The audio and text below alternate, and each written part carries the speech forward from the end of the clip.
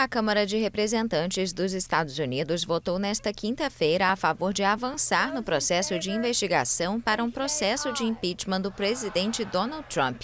Isso permitirá aos congressistas interrogar publicamente as testemunhas convocadas.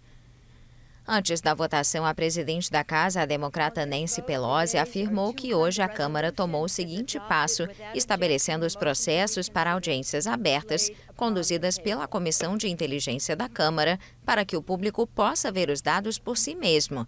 Os democratas tentam demonstrar que Donald Trump pressionou a Ucrânia a investigar o ex-vice-presidente democrata Joe Biden um pré-candidato bem posicionado para enfrentá-lo nas eleições de 2020. O presidente classifica a ação de golpe de Estado.